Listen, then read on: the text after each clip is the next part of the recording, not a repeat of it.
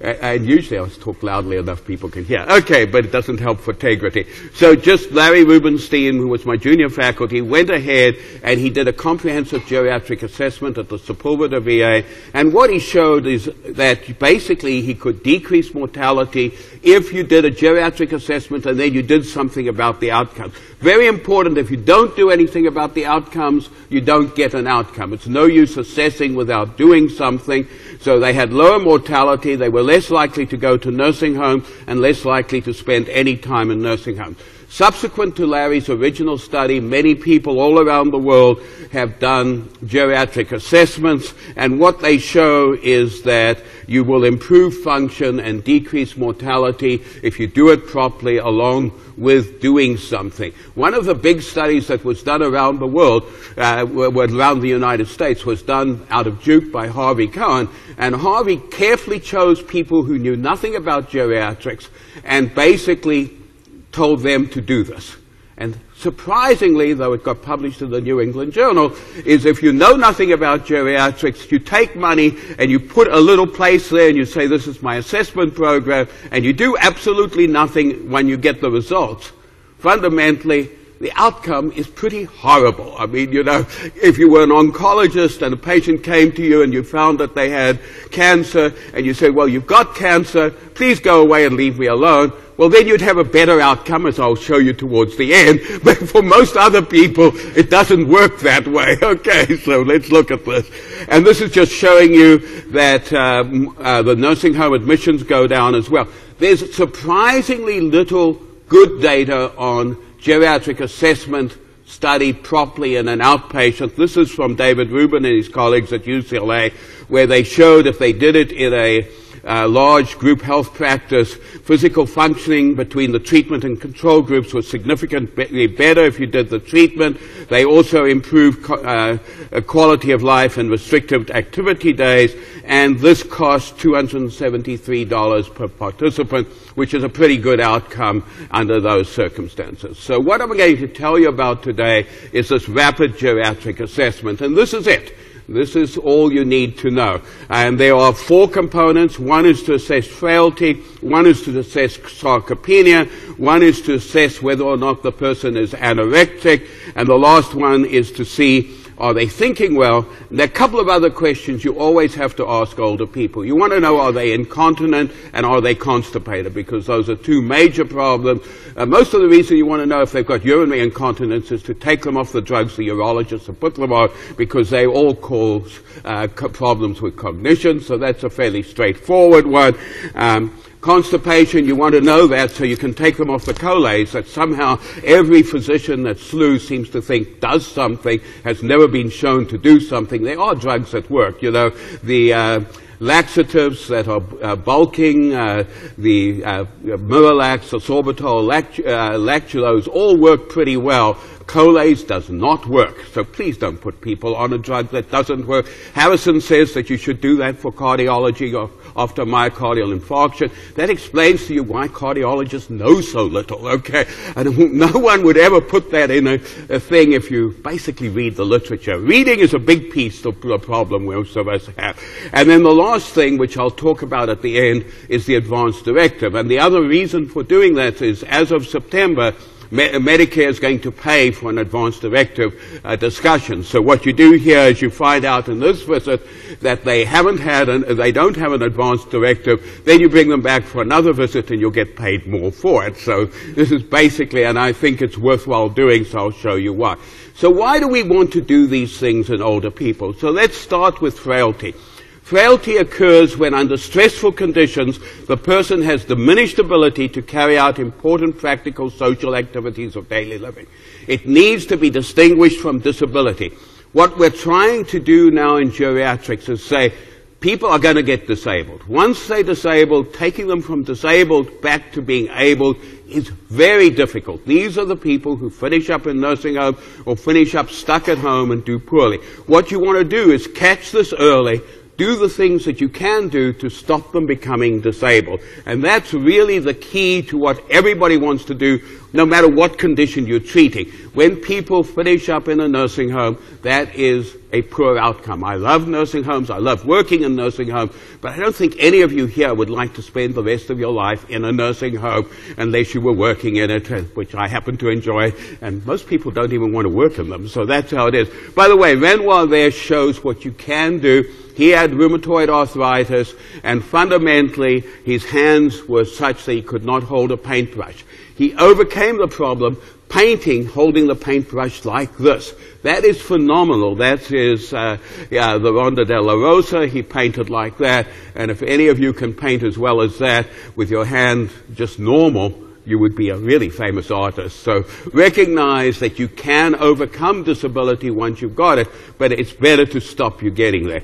So this is just pointing out that all the residents in the audience who are here are somewhere up here mostly, so they're still getting better. And that doesn't matter whether we're talking about how much you can remember, your VO2 max, cardiac output, balance, or muscle strength.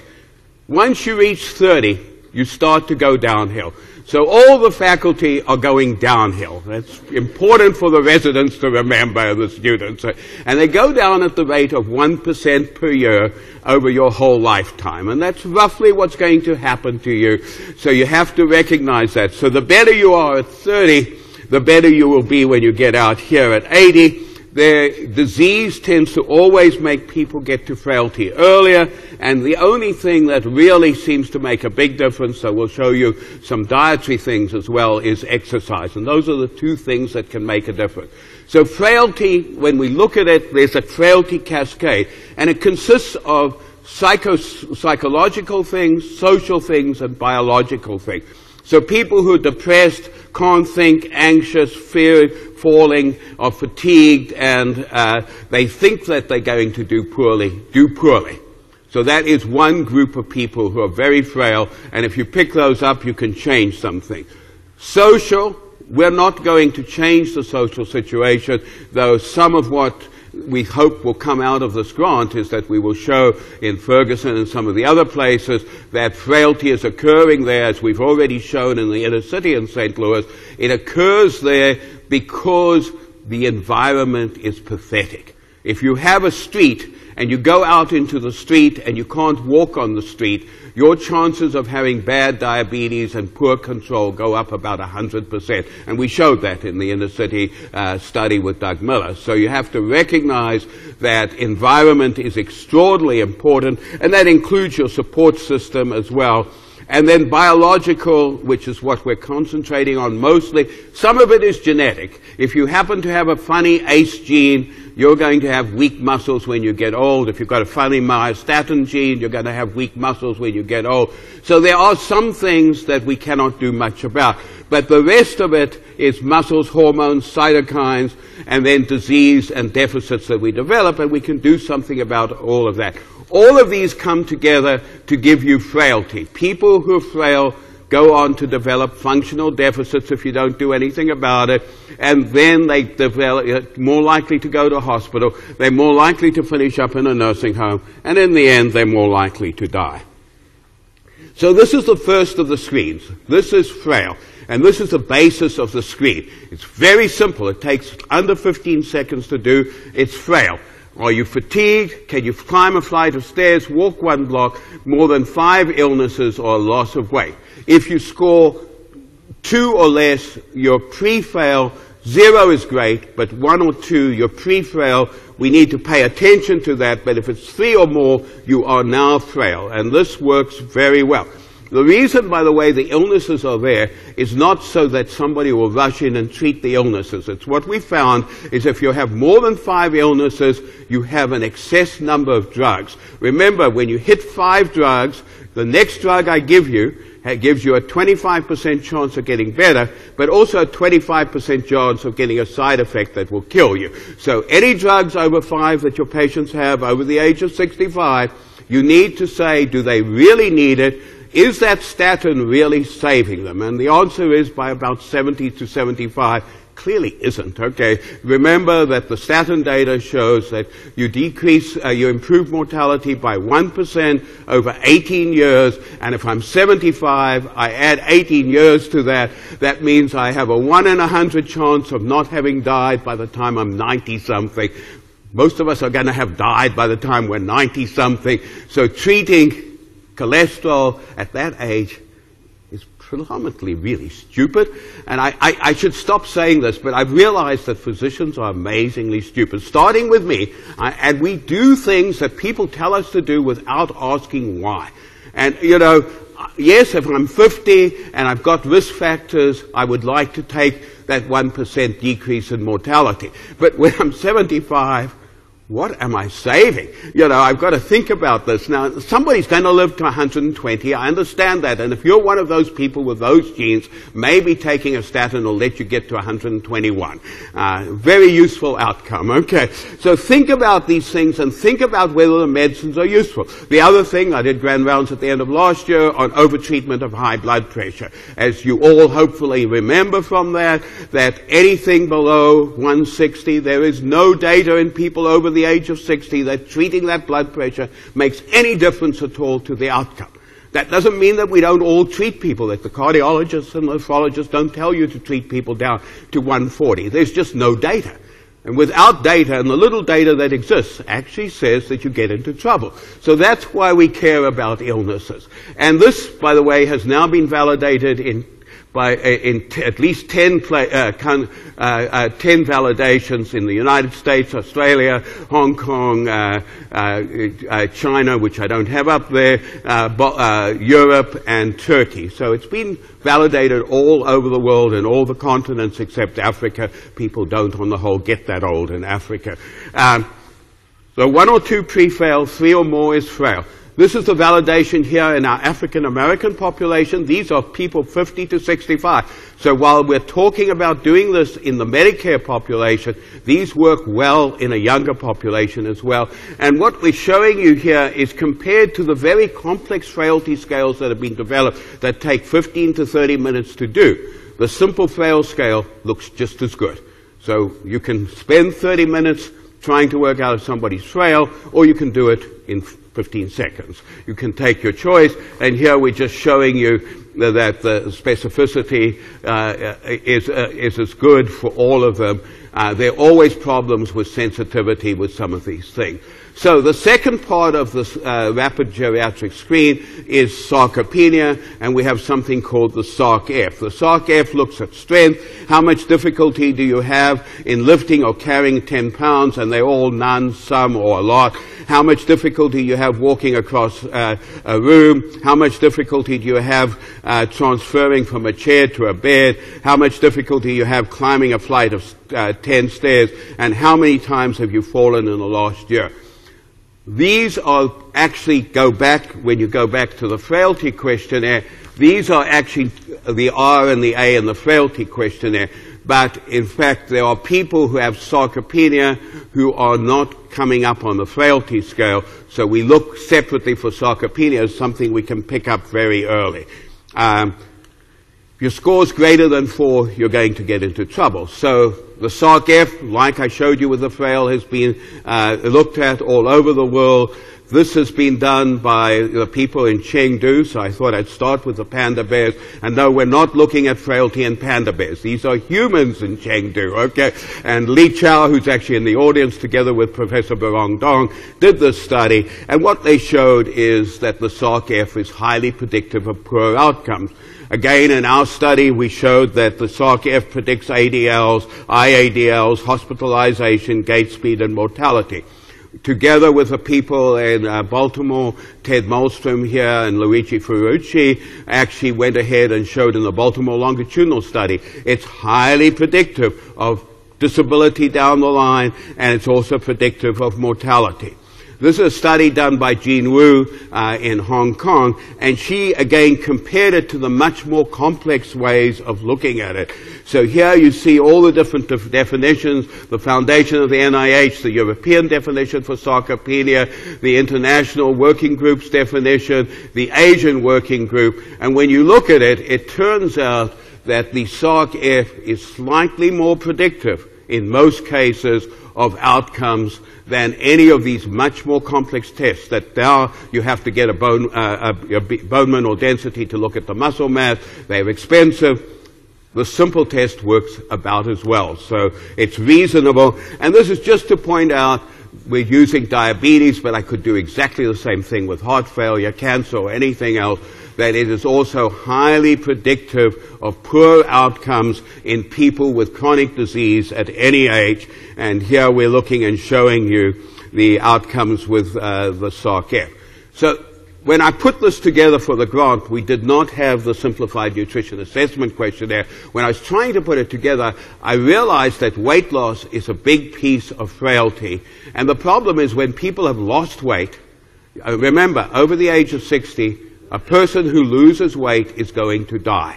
It doesn't matter whether they've got diabetes and you think weight loss is good for them or you think they're just too fat, they die. There is not good things about losing weight when you're older. Part of that reason is when you lose weight, you lose muscle and you lose bone. Exercise does not protect the bone. Exercise will protect the muscle. If you lose bone, eventually you're going to fracture your hip. People who fracture their hip, 20 to 30 percent are dead within the first year. So that alone is part of the bad reason. I think if you want to lose weight over 60, you've got to do it with exercise. You can't afford to do it with caloric restriction. And anybody who tells a diabetic age 65 to calorically restrict is trying to kill them. And we're not in the business of murdering people. I hope none of you are. Okay. So we should stop and think what the literature says. And you can say, well, that's wrong. And it isn't the case. And I know that if I take somebody who's got a BMI of 45, age 65, they'll do better. And that may be true if their BMI is 45. But it's not true if their BMI is 35. Point out to the cardiologists who are not here that all the cardiology literature shows that the optimal BMI for stage 4 heart failure is Somebody help me. 35. Okay, if you want to survive with stage 4 heart failure, you want to be fat as anything. Okay, 35, and there are like seven studies that show this. Uh, cardiologists don't usually talk about that. I don't know why, but it's how life is. Okay, so we want to stop weight loss, and that means we want to pick people up who are getting anorexia. As you get older, you get an anorexia of aging, and it's really important to be able to look at that and be aware of it. And this has been shown first here, and I'll show you very rapidly in Japan and in France now. That's very simple. My appetite is very poor, very good. When I eat, I feel full after a few bites or hardly ever. Food tastes very bad, very good. Normally I eat less than one full meal a day, multiple meals. This is highly predictive of weight loss six months later. We showed it at our outpatient clinics here. We've shown it in the nursing home. They've shown it in Japan and all over the place. It's got very good receiver operating uh, curves, good sensitivity and specificity. Here's a Japanese study showing the same thing. Uh, they didn't, they did, looked at something slightly different in France, but they showed that compared to the much more com- complex mini nutritional assessment, it works as well, if not better. Now, we've done these three things. It's no use doing them. Remember, I told you up front that comprehensive geriatric assessment only works if you manage the patient. Now, I realize that physicians are busy and they have no time to manage geriatric problems because they actually usually take time. So what we've developed is an algorithm and all of this is going to be in all of our, your computers. It's going to be there in the electronic health record and you'll be able to click on a single button which will say, if the patient said they were fatigued, then you will go and do the uh, George Grossberg SLU SAD to look for depression, and if they're depressed, you treat the depression.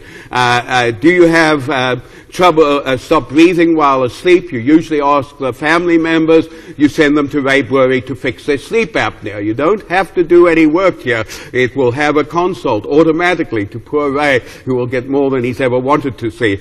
I've been trying to make you, Ray, Ray stop telling us all that everybody has sleep apnea. He's got to find out now they do. Okay. Uh, you get a TSH for hypothyroidism. You look at vitamin B12. You uh, get a hemoglobin for anemia, and you get a blood pressure standing because a lot of people have hypertension because of overtreatment, and particularly when they stand up. And if you do those things, you pick up about 80% of the causes of fatigue. There are another 20% that are very difficult to diagnose, but at least this is a start. The sarcopenia, you want to do resistance and aerobic exercise. You want to uh, about, about three times a week, and I'll talk about the dose there is important. This is not walking 20 minutes. It may help a little bit, but if you really want to fix people with disease, the dose has to be intensive. So this is a time where you do resistance exercises. Uh, you also want a protein supple- supplement and a thousand international units of vitamin D a day. Uh, illnesses, I've told you what to do. Get rid of drugs and people will get better. And remember, anticholinergic drugs. Many drugs are anticholinergic. So if I'm treating the incontinence in an older person, I am actually making them less functional because anticholinergics do not do well. We give people colon cholinergic enhancing agents like Aricept that hardly work to try and improve their memory, and then at the same time a patient comes to me and they're on an anticholinergic. This makes no sense. Okay, this is giving two drugs, neither of which are going to work because they're going to cancel one another out. And then loss of weight, we have the Meals on Wheels mnemonic that's been around for 35 years now, medications, emotional depression, elder abuse, uh, alcoholism, late life paranoia, I think you're poisoning me, problems with swallowing, oral problems, nosocomial infections.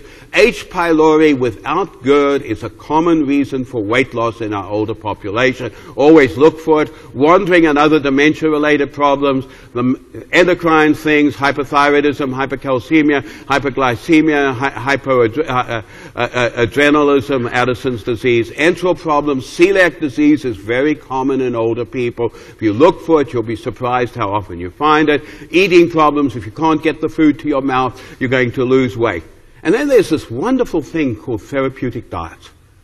There is no data that these therapeutic diets work. And the most recent data shows that salt, low salt, kills you. The data is phenomenal for low salt killing. Everything the CDC tells us to do about salt, if you do it, it will kill you. So we know that the CDC is worried because they can't afford the Social Security, they've got to pay for me, and they want to get rid of old, old people. That's the only reason to do these low salt diets. They don't work. And I mean, realistically, the data is amazingly good. I talked about that in my hypertension grand round, so if you weren't there, you're going to have to go read it up yourself. And then stones, cholecystitis are things to look at.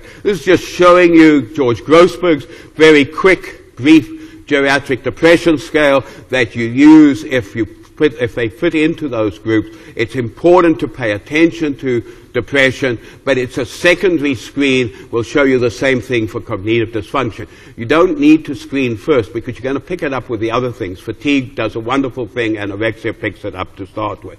So what about cognitive uh, dysfunction? So we know that all of you know whether your patient can think or not. So basically the data we've got in the clinics here is that the pickup is about 10%. So 90% of people with dementia are not diagnosed by their primary care physician when you're an internist. The same's true at UCLA, and it, I'm hoping it's a lot better because the slums is available and I hope people are using it. But if you're not using some sort of formal way to look for dementia, you miss it all the time.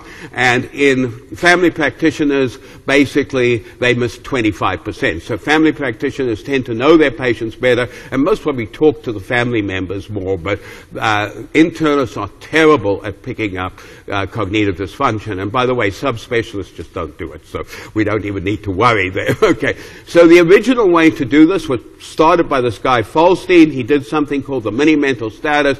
It's an okay exam. It doesn't pick up early cognitive problems. It only picks them up once you've got dementia. It's educationally dependent. Um, Doctors do terribly on this. He was a physician, and if you're a physician, I'll pick you up immediately with this. You can't do this when you start getting demented as a physician. On the other hand, if you're an accountant, you can keep on doing this till you're totally demented. So you just got to recognize there are differences, and it doesn't test for visual spatial, which is a very important part of early dementia. So we compared basically the slums, the St. Louis University mental status exam, to the mini mental status, and it turns out that for MCI, the receiver operating curves are so much better that it's ridiculous. Okay, uh, this is the slums for those of you who haven't seen it, and I won't spend any time on it because I'm going to show you can do this much quicker. And then the Montreal cognitive assessment.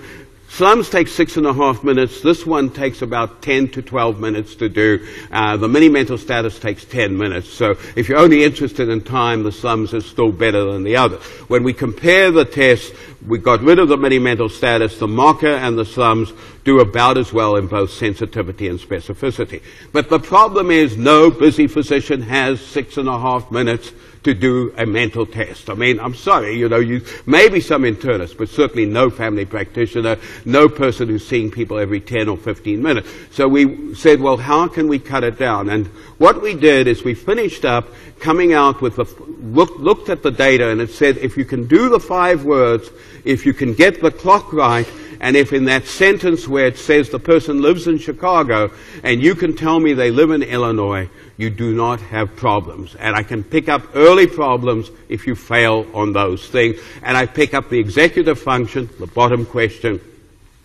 I pick up visuospatial, and I pick up the people who've got amnestic disease, which means that they're going to go on to get Alzheimer's disease. So I can pick them all up very quickly, and this takes basically two and a half to three minutes to do.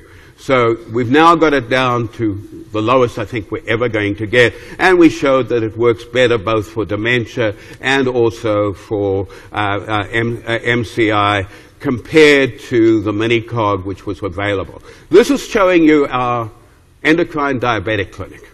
This was done by a medical student over the summer, and he did the rapid cognitive screen. And the point I want to make is the 50 to 59 year olds. 20% of them basically are not thinking well. If you're not thinking well, you come to see an endocrinologist. And I tell you that you've got to prick your finger, you've got to adjust your insulin, you've got to do this, you've got to do that, and I want you to take these 15 different drugs, including your statin and stuff, and you've got to take them at different times of the day, and don't take your calcium with any of the others, and I send you home.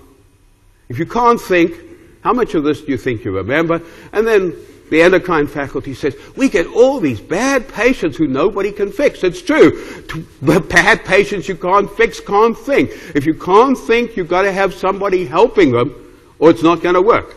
Same for cancer, same for people with liver disease, same for uh, cardiac disease. These figures are about universal. So if you've got a complex disease and you don't look to see if the person can't think, please don't treat them.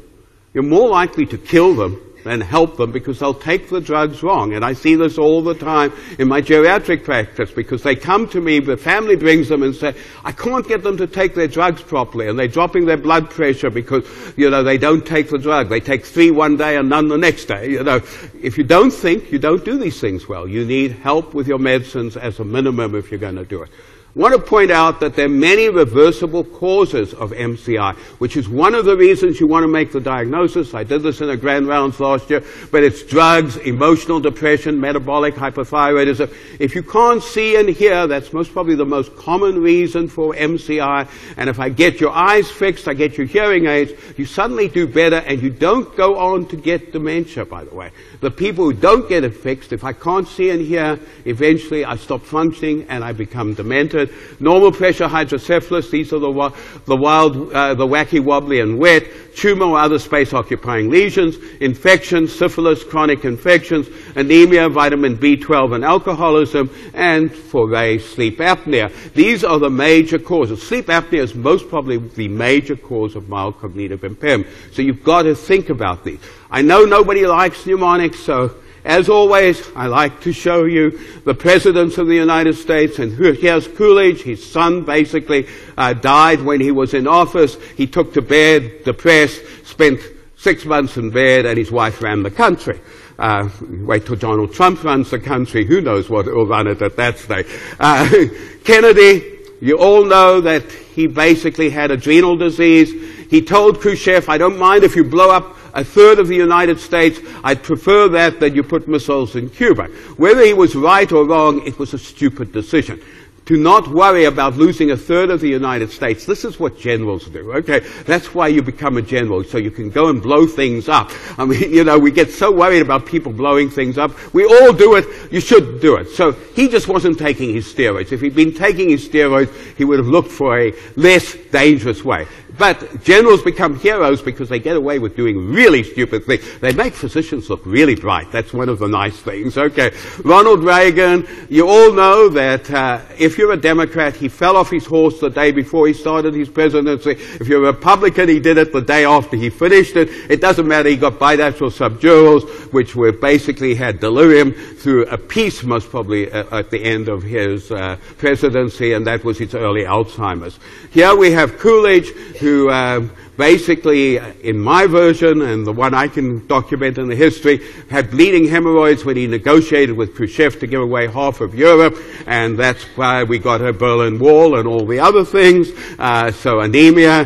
Here we have George Bush. I remember, you know, George Bush used to drink a lot when he was young. Every, nobody argues about that. And I remember when he was running for president, he promised me that the only thing that mattered was he was going to lower my taxes to nothing and spend unending money on the army. Both of which he did, by the way. And you remember the outcome in the end. So if you think about this, this is confabulation. Korsakoff syndrome. Okay. Nobody else could look at it in any other way. So just as long as you understand what happened and at least stop the people with Korsakoff's drinking. They get worse if they continue drinking. And then of course we have that young man there who clearly is going to finish up with this.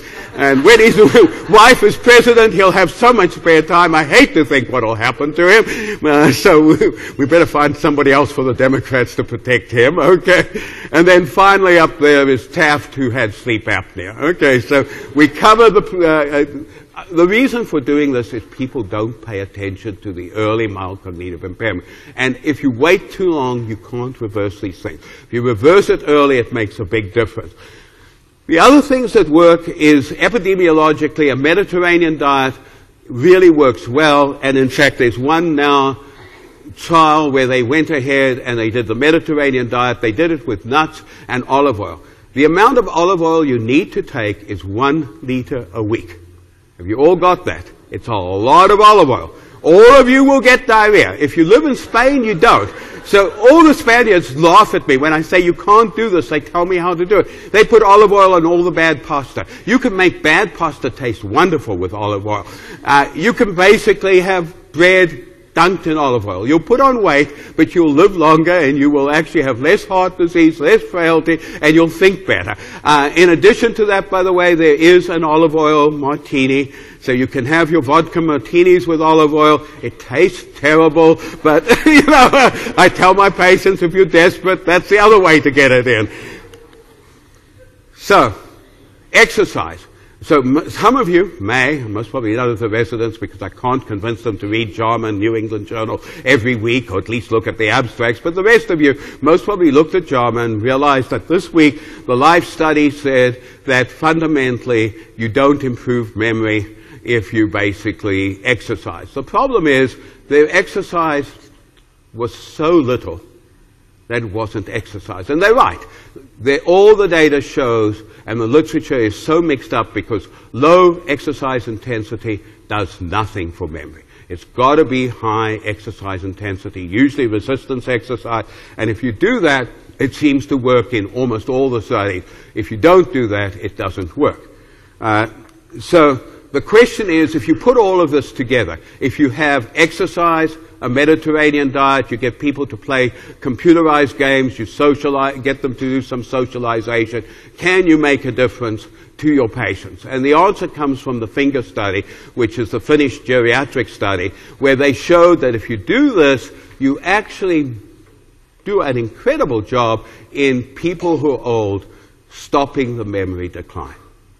So for people who are young, you want to do the same things because your memory decline has started. Remember, you've peaked at 30. So after 30, if you're not doing these things, you're going down a little quicker. So you should be doing it for yourselves. But this is what you need to tell your patients. That a combination of fruit and vegetables, olive oil, exercise, and computer games will actually slow down your memory deficit and it will do it whether you've got dementia or not it improves cognition. So this is the, um, and I apologize for the slide. I know it's a lousy slide to read, but this is the uh, brain health uh, inter, uh, uh, uh International Association of Gerontology and Geriatrics coming out in September. John Morris and I chaired this. This is what you're supposed to do if you pick up people who have early problems. You've got to basically spend some time with them, unfortunately, uh, explaining what's going on. Uh, you need to identify all potentially reversible problems. We've just talked about the things that you should do. We'll talk a little bit about cognition stimulation, which works really well for moderate dementia. And our medical students are going to have groups here uh, starting in the, uh, the summer, uh, or at least in the winter. you've got to discuss potential uh, uh, use of cholinesterase inhibitors in people with dementia. That's John Morris. I don't do it. Okay, I just don't think it's cost effective, but some people do. Encourage the person uh, uh, to develop uh, advanced directives, obviously. Educate the patient and the family. Send them to the Alzheimer's Association. They'll do all the education for you. Um, basically, you've got to start saying what is safe driving. You can't drive if you're demented. So for no other reason you want to know your patients are demented, get them off the roads before they kill you when you're going home. Uh, make sure that you basically do other safety things, which is basically get guns and power tools out of the house. People shoot one another when they're demented. I had a patient, uh, my son actually, was a policeman, was called me because fundamentally he'd gone to see someone who's standing in the house. There's this woman dead. He shot her, and he's saying, "When is Mildred coming home?" His wife came back. He thought she was an intruder. She shot him. He shot her. My favorite patient was a 93 year old who fundamentally thought his, her daughter, age 70, was dating the wrong guy. So she took a shotgun out to shoot him. Fortunately, she shot off her toe, which was a better outcome. But, you know, you really have to recognize that you can't let people who are dangerous, NRA or not, I don't care if you want to support guns, don't give it to demented people. They really are dangerous. You know, Charlton Heston had dementia and he kept his guns. I mean, the fact the worst thing that happened to America was he didn't kill somebody under those circumstances, because that would have solved the NRA problem. Maybe they would have realized that demented people shouldn't carry uh, uh, uh, guns. And then try and encourage people to go into research studies, because that's the only way we get anywhere.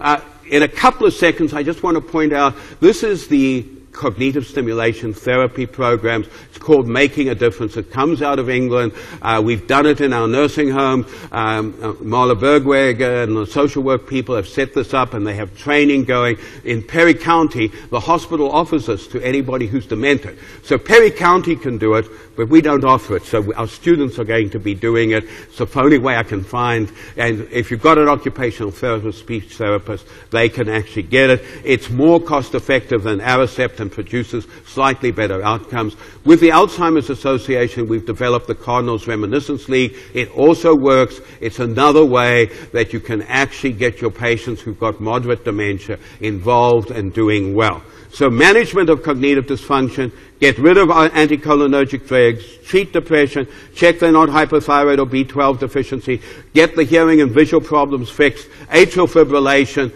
haven't mentioned that amazingly important. This is why people who are falling and old need to be actually on some form of anticoagulation. Don't worry that they will fall and bleed in their head because they will continue to fall with atrial fibrillation. It's one of the major causes of falling in older people, uh, shown by Mike Rich up the road in Wash U. And in second to that, your rate of deterioration as far as your dementia is huge. So it's not acceptable to say, I put the person on an aspirin or I didn't put them on a drug because they're falling. You're not treating something that's treatable, and then you send the rest to Ray and pulmonology for sleep apnea. And then the Mediterranean diet, olive oil, exercise, computer games, socialization, cognition stimulation therapy, refer to the Alzheimer's Association, safe return bracelet, discuss driving and guns. And you'll say, well, we can't do this. What I'm telling you to do is too much. Jean Woo, who's my friend in Hong Kong, went ahead and screened 800 people at a, in a senior center, and she did this in three weeks.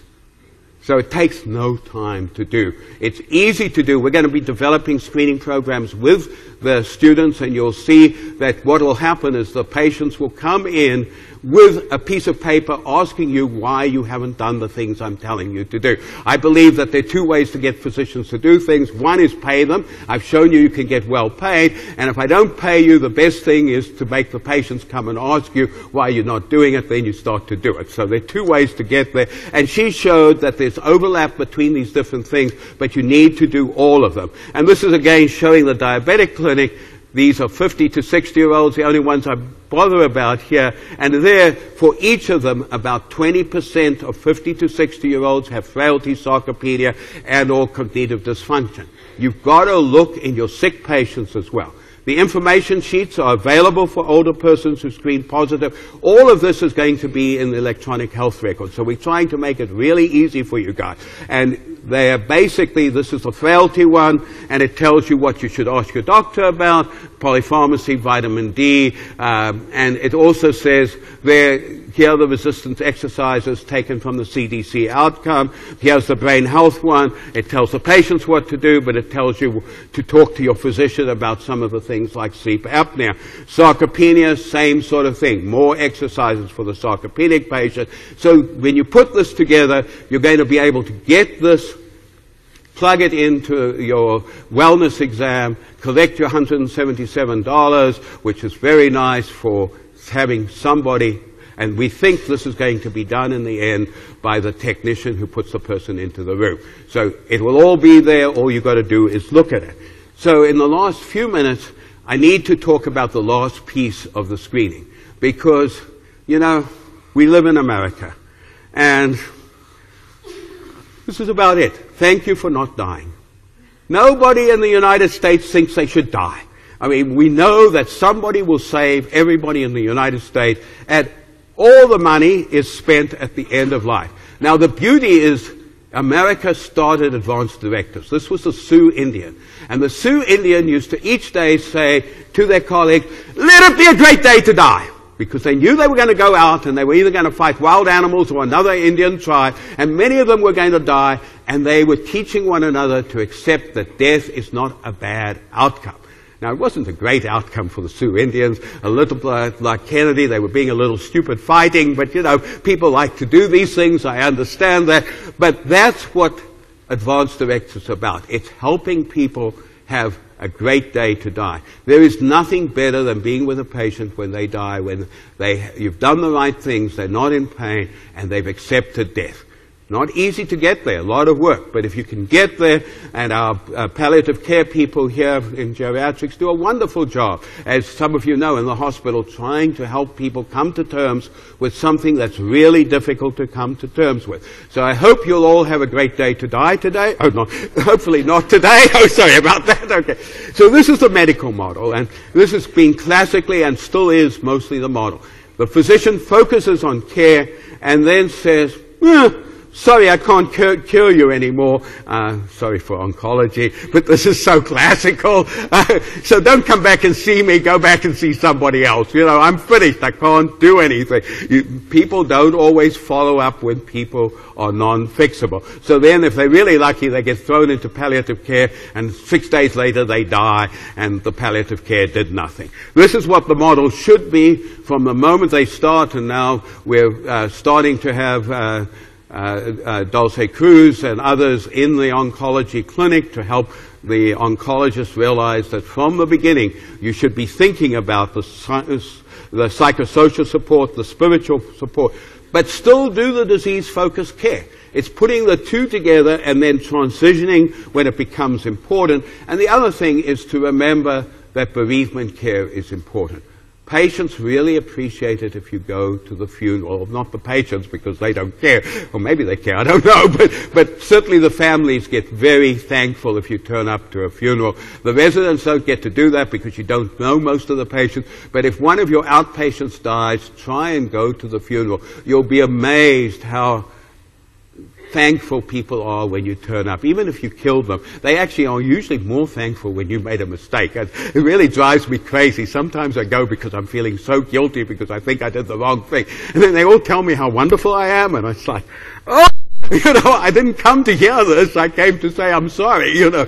But people really appreciate it. It makes a big difference. So where you can, do that. Uh, this was, I think, originally Dr. Flaherty's patient, or the quote. This is a uh, not her picture because we can't put a picture up. But uh, she said, "Let me tell you, doctor, dying is the experience of a lifetime."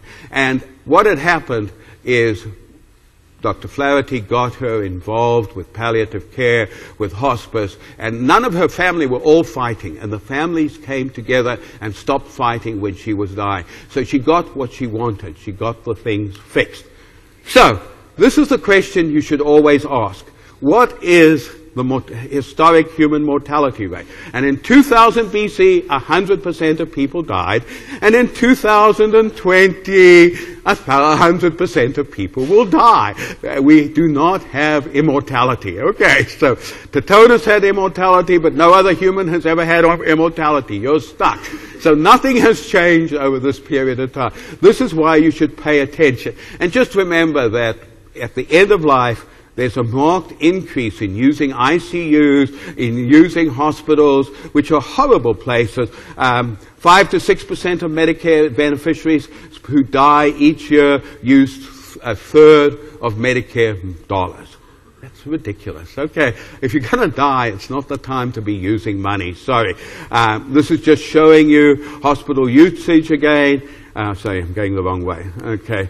Dying is costly. That's what I want you to know. Palliative care, the New England Journal uh, last week had a article on palliative care and the things that should be done. I think all of you should go read it and understand the things we don't have for people when they're dying. Uh, symptoms in advanced disease, they have all of these different things. And it doesn't matter whether you've got dementia or cancer or heart failure. Pain is very common in people with heart failure towards the end of their life. You've got to recognize we need to pay attention and treat those things. And the other thing is you've got to realize physicians are useless at saying when somebody's going to die. You know, when you say the person's going to die in a week, they usually die three years later. If you say they're going to die in three years, they die while you're telling them they're going to die. You know, we're not very good at it. And so we have to recognize that even with the best algorithms, we're not good at working out when people are going to die. So does palliative care help? So the Kaiser Permanente did this very nice study where they looked at putting in a palliative care program or they let the primary care physician look after people. And it turned out that even though they told the primary care physician that they needed to basically uh, do something about palliative care, there was a huge increase in satisfaction in the people in the palliative care program. It also cut costs dramatically. It costs much less when you put somebody in a palliative care program. If it wasn't making people happy, I'd say, well, you shouldn't do that. That would be the death panels of Sarah Palin. But remember, Sarah Palin sees Russia from Alaska, so her death panels are most probably also fictitious. So let's recognize, and we need to talk about that stuff because patients hear it, they believe these people. I mean, how you can have a politician who says it's a death panel and we're trying to kill people, that's most probably what she would do if she got in. So if I extrapolate that, that means all Republicans want to kill us all off. Okay, uh, given the 19 odd people who really think they should be the president on the Republican side, maybe if we killed them off, we'd have one or two really good people. Uh, but Don Trump is going to be my president. I'm voting for him, and I'm excited. Okay, uh, being serious about this now. University of Michigan, the CEO at, uh, at the university uh, uh, hospital said, you know, those oncologists are costing me a hell of a lot of money. And they keep people in hospital forever, and I don't think this is useful for my budget. So he got Robert Wood Johnson to give him a, a grant to hire a nurse who went around and she would say to the people, you know, the oncologists really don't know when to stop. And I think it's time you went back to your farm. And these people listened to her. So she was clearly better at convincing people what to do than the oncologist. And here you see the outcome. What he got worked beautifully. The costs went way down. So getting people to dump their oncologist saves a lot of money. Okay, number one. I'm not saying they should, but it's what happened. But the other piece is the nurse actually got people to live longer. 266 days versus 227 days. This doesn't mean we shouldn't have oncologists. This means that we have to learn when to stop. And learning when to stop is very hard for, I have this problem, so I understand. It's very hard to know when you should stop trying to keep a person alive and focus on palliative care. Aetna's had a compassionate care program, and all this shows is that what they've managed to do is decrease uh, ICUs. They've basically had less uh, inpatient hospital days, and it really has made a difference. This is the lung cancer study showing that if you have a palliative care program early on, you again get people to live a little bit longer.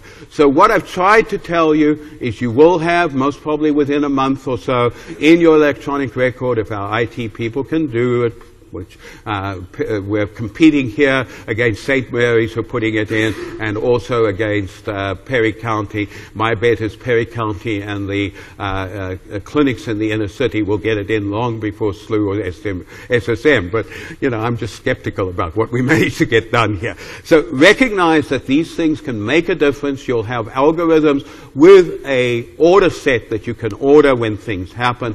So what I hope I've told you is rapid geriatric assessment can be completed within about four minutes, and it can be used as a major component of the Medicare, wellness exam. $177 the first time, $111 the next time.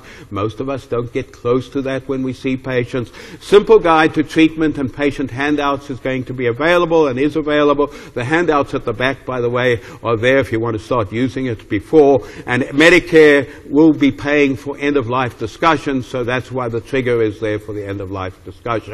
So with that, I will stop. The other piece of the grant is caregiver stress, and we will be talking more about that as we roll that piece out as well, because if you don't pay attention to the caregivers, people finish up going to nursing homes. So thank you all very much.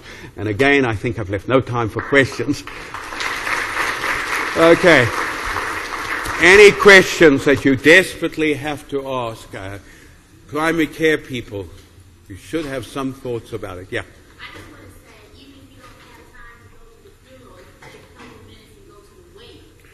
No. Uh, I agree. The wake, or at least phoning the family and talking to them. I, I, had a family member the other day who phoned me to thank me for looking after the person who died, and I, you know, I felt so bad because I hadn't got around to phoning her. You know, so it's really important. Thank you all very much.